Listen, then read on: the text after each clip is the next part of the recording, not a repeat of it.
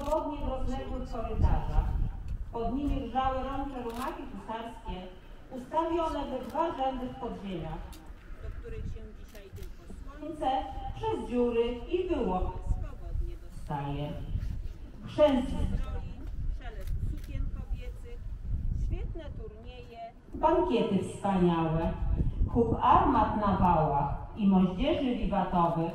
Wszystko to się obiło o te milczące czasy świetności i upadku Rzeczpospolitej przetrwały. wiedzieć chociaż odrobinę o tym przepięknym miejscu. Znajdziemy się w zamku Krzysztofur. E, To urok pływa i pełna tajemniczości ruina.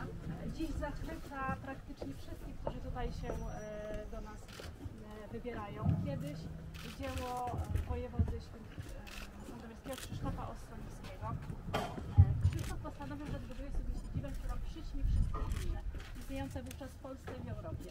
Jak postanowił, tak też uczynił. Budowa trwała 23 lata, początkiem XVII wieku, ale postanowiono, że zamek przyćmi wszystkie inne istniejące wówczas w Polsce i w Europie. I tak też się stało. 23 lata budowano ten zamek.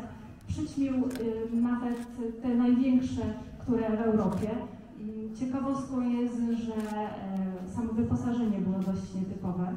Otóż legendy, które, z których zamek słynie, mówią o tym, że w stajniach znajdujących się pod ziemiach były marmurowe żłoby i kryształowe lustra, Ponoć strop w jednej z wież był wykonany ze szkła, czyli niejako akwarium e, pomiędzy dwoma piętrami. Zamek też jest kalendarzem, ma to związek z zainteresowaniami samego właściciela. E, Kiedyś przepiękny obiekt, e, wyposażony z niesamowitym przepychem. E, Sam właściciel bardzo krótko cieszył się swoim zamkiem, tylko jeden rok, ponieważ rok po zakończeniu budowy nagle zmarł. Wówczas zamek trafił w ręce jego jedynego syna, to Krzysztof Baldwin Ossoliński, ale ten zginął 4 lata po śmierci ojca na powstaniu Chmielnickiego. I cóż, obiekt przeszedł w ręce innych osób spokrewnionych z rodem, ale stało się tak, że kolejni właściciele oddali go Szwedom bez jednego wystrzału. Wówczas zginęło nie tyle przebogate wyposażenie samego zamku, co i biblioteki, czyli dokumenty, katalogi, inwentarze. Dziś jedynie legendy, które mówią o tym przepięknym wyposażeniu, bo nadal nie posiadamy tych oryginalnych dokumentów.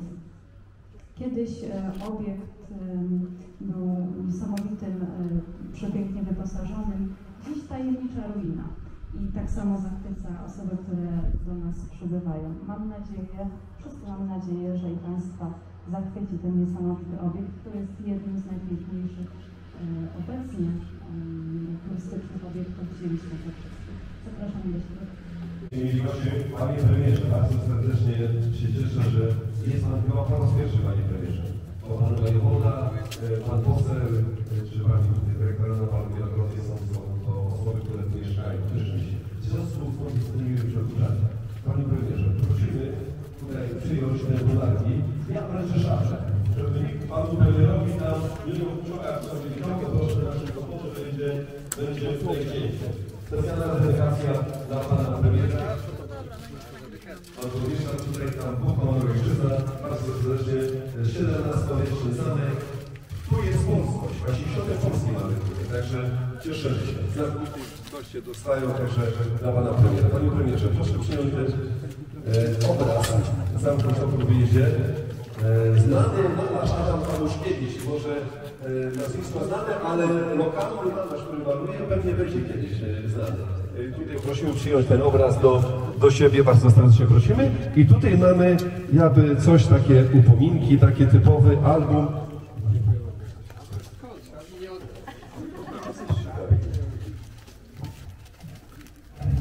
Akademia Sztuk Pięknych pięknie wykonywała tutaj ten zamek Sztuk Podwieździe. Jest tu książka, gdzie ten zamek pięknie wyglądał. Proszę popatrzeć, panie premierze, pan poseł Lipiec wiedział, widział, tak, to jak wyglądała ta rezydencja. Coś wspaniałego, coś pięknego. Yy, wiem, że buduje się baza Saski, trzeba kciuki, żeby było. No Krzysztof, nie wiem, czy odbudujemy.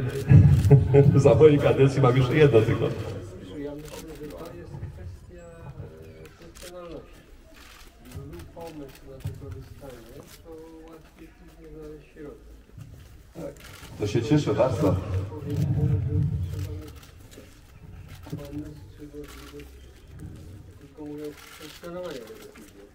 Tak.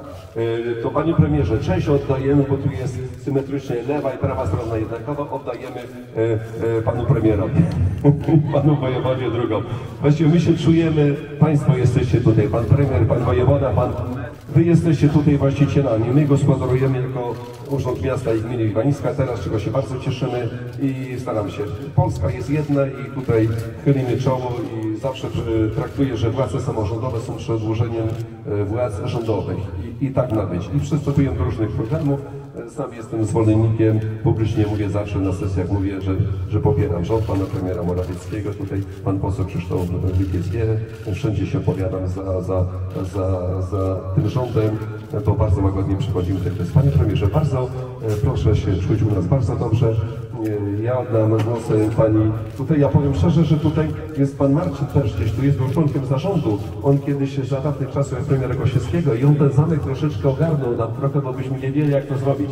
Wtedy dostaliśmy 10-12 milionów, ale jakbyśmy pokazali wtedy coś by zrobili, to dzisiaj ktoś by powiedział, że za 40 milionów. Także Marcin dziękuję Ci bardzo serdecznie. Był członkiem zarządu wtedy w Układzie Województwa i tym był takim motorem napędowym, że to co jest zrobione to można powiedzieć w 90% tak pomysły jego były wykonane Akademia Szkół Pięknych w Warszawie.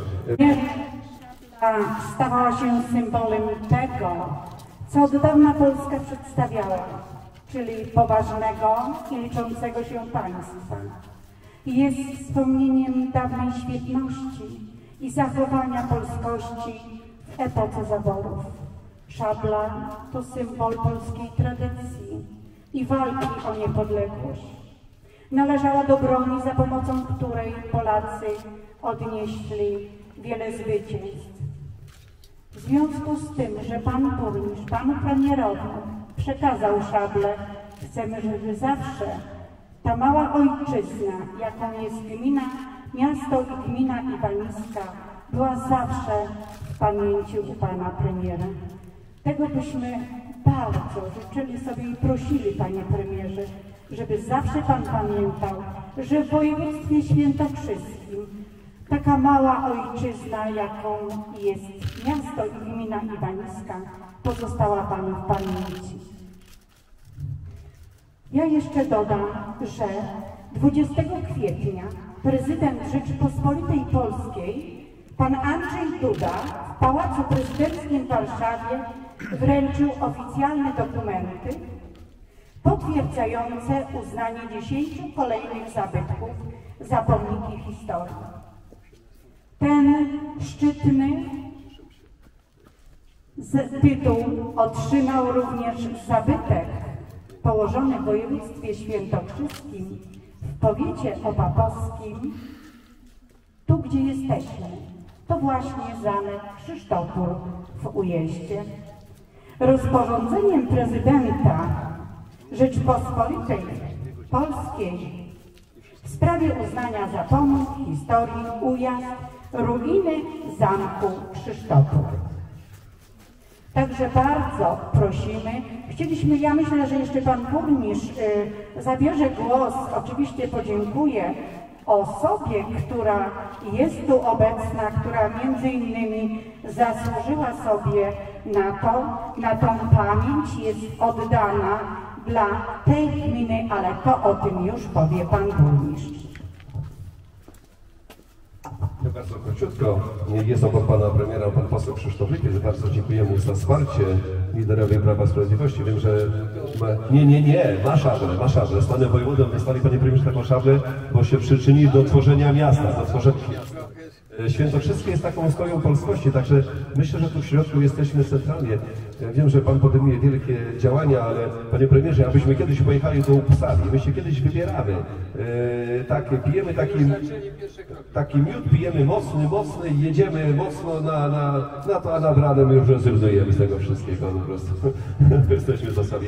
E, są te dobra tu przechowane w Uppsali, w Uniwersytecie Szwedzkim, wszystkie dobra stąd. Najbardziej zamek Szylpopol zniszczyli Rosjanie, zniszczyli tutaj e, Związek Radziecki, bo tutaj e, chcieli rozbić ten zamek na drogi.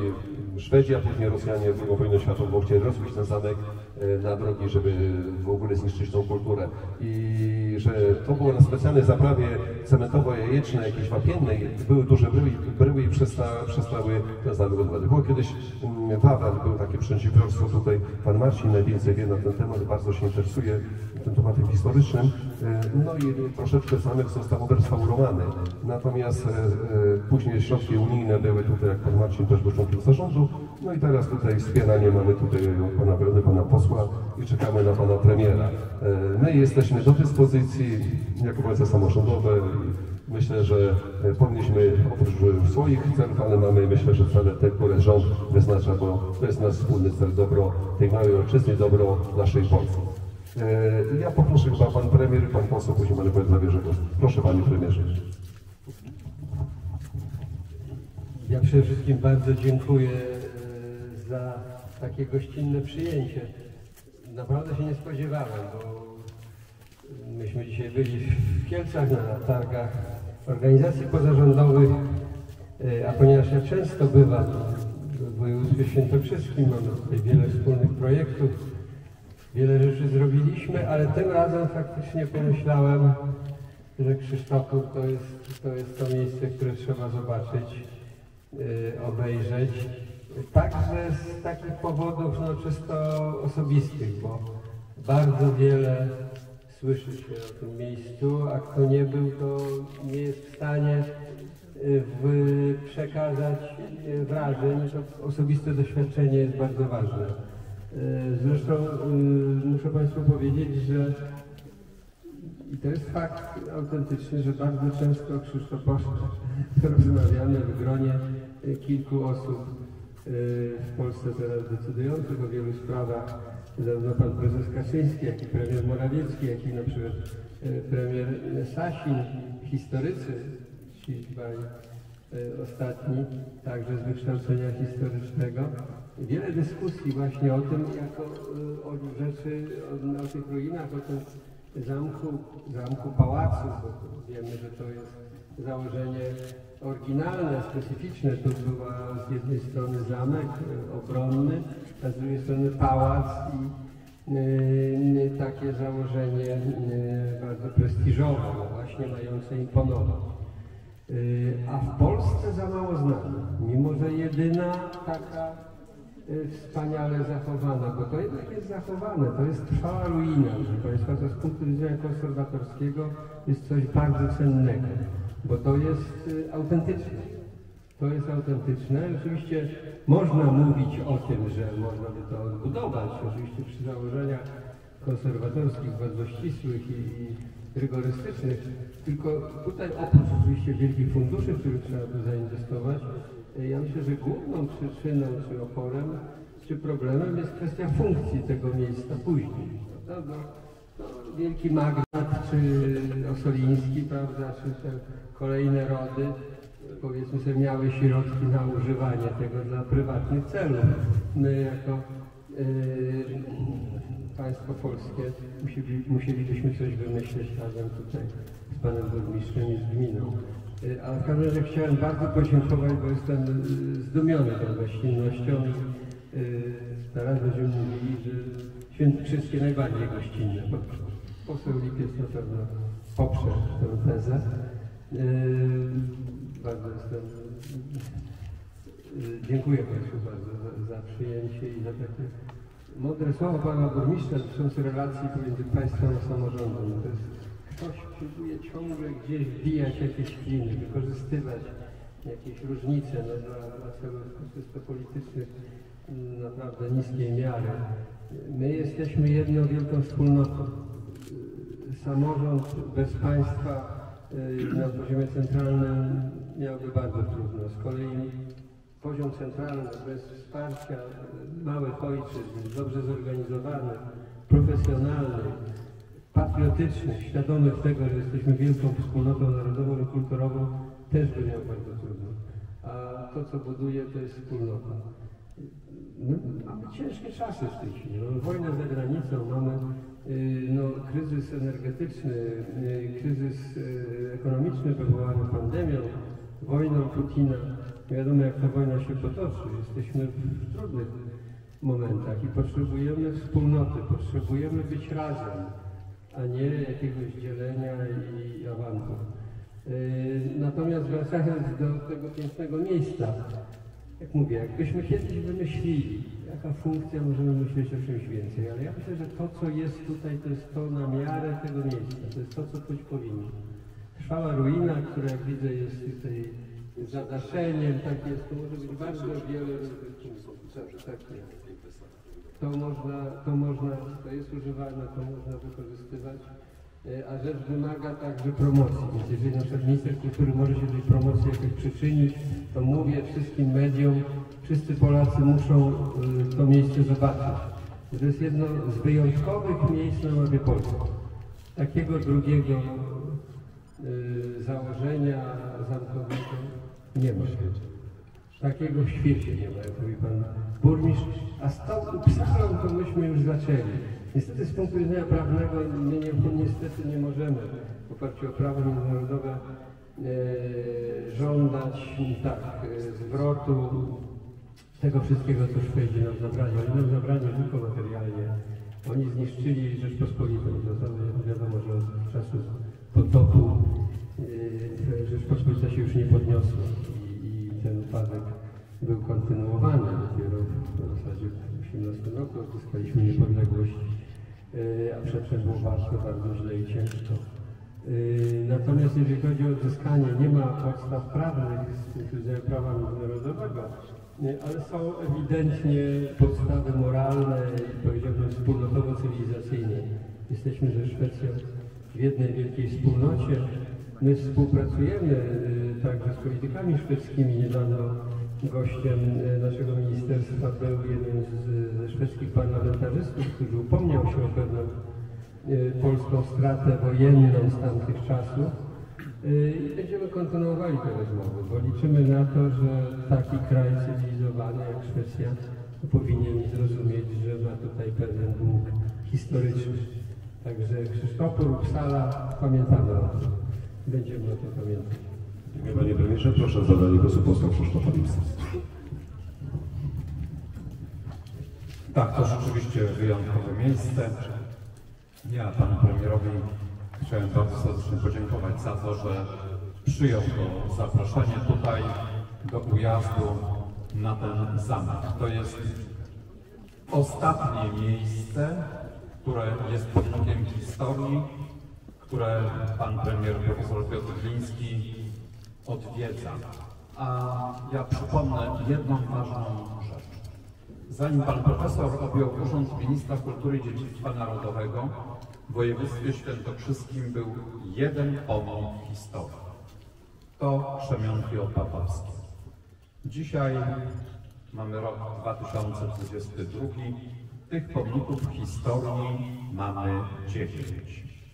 Osiem to dzieło pana premiera, bo wnioskował do prezydenta Rzeczypospolitej o to, aby nadać tę najwyższą godność, najwyższy status chronionego obiektu zabytkowego. I my to mamy w województwie świętokrzyskim. Dziewięć pomników historii.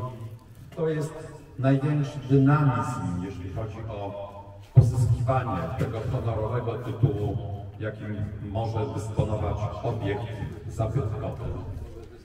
Krzysztopór był kiedyś Krzysztopór był kiedyś y, obiektem zabytkowym klasy 0. Mieliśmy dwa takie w dawnym województwie kieleckim. No i dzisiaj wielka radość z tego, że rzeczywiście na mapę najcenniejszych obiektów zabytkowych Krzysztopór znowu trafia. Za to bardzo dziękujemy, bo to ważne, że ten obiekt znalazł się na tej honorowej liście, bo poprzez to łatwiej będzie pozyskiwać środki po to, aby przecież to wszystko, tę całą substancję zabytkową trzeba chronić, trzeba konserwować. To są środki dosyć spore.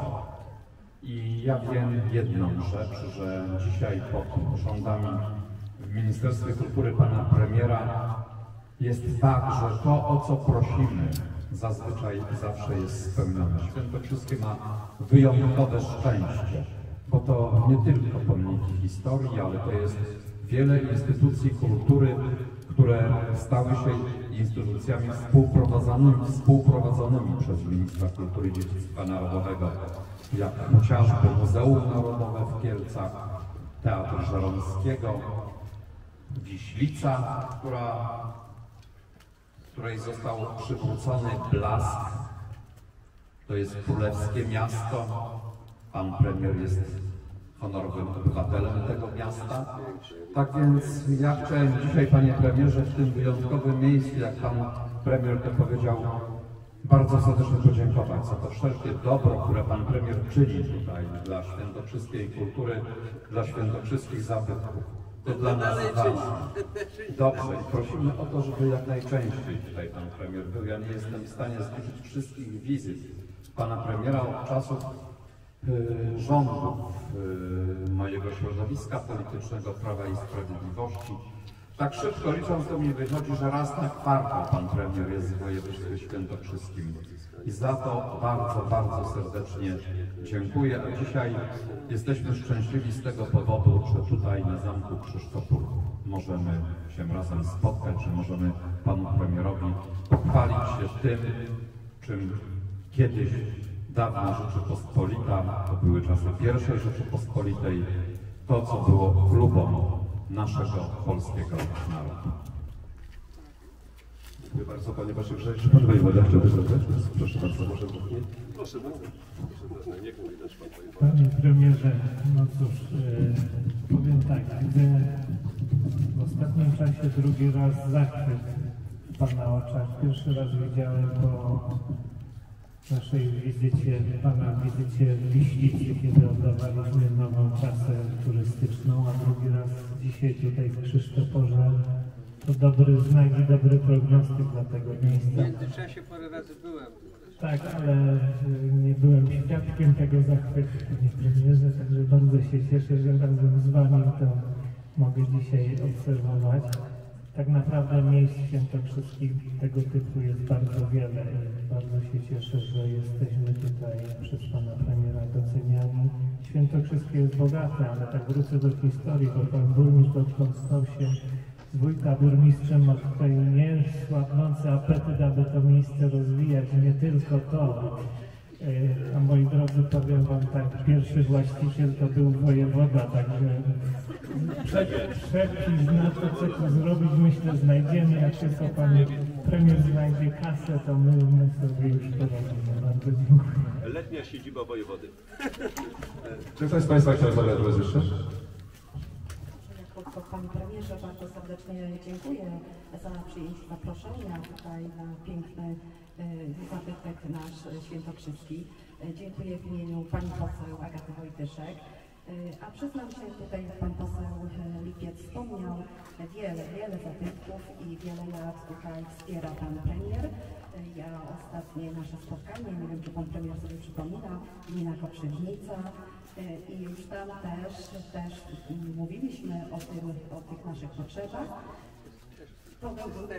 Cystersi, tak, to też mamy piękny klasztor Koprzywnicy i wiele, wiele innych zabytków, które przez Pana Premiera i przez rząd Prawa i Sprawiedliwości są wspierane i za to bardzo serdecznie dziękuję. Dziękuję bardzo w imieniu Pani Poseł. Bardzo serdecznie dziękujemy. E, Pani sekretarz, e, zapraszamy. Pani, pani sekretarz, proszę.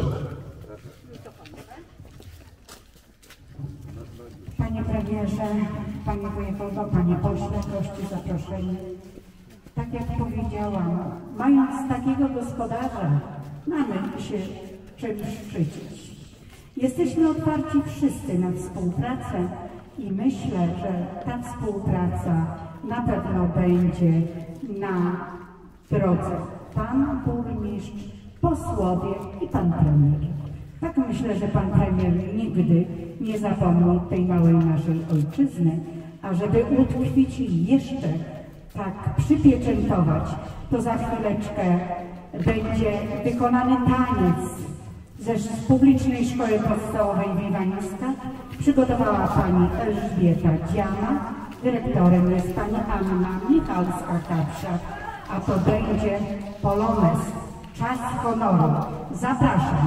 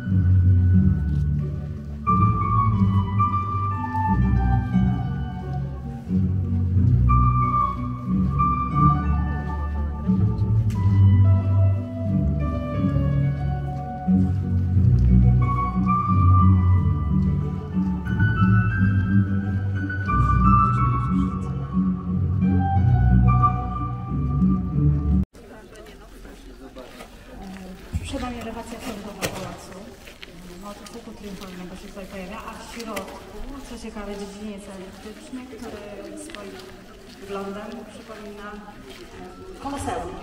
To był pomysł właściciela. On chciał przyćmić wszystkie inne obiekty wówczas, tutaj początkiem XVII wieku i postanowił, że zbuduje taki pałac, który przyćmi wszystkie inne. No i się udało. Do czasów wojny Wersalu ten obiekt był największym zawodowym pałacowym w Europie. Budowano go 23 lata, początkiem XVII wieku.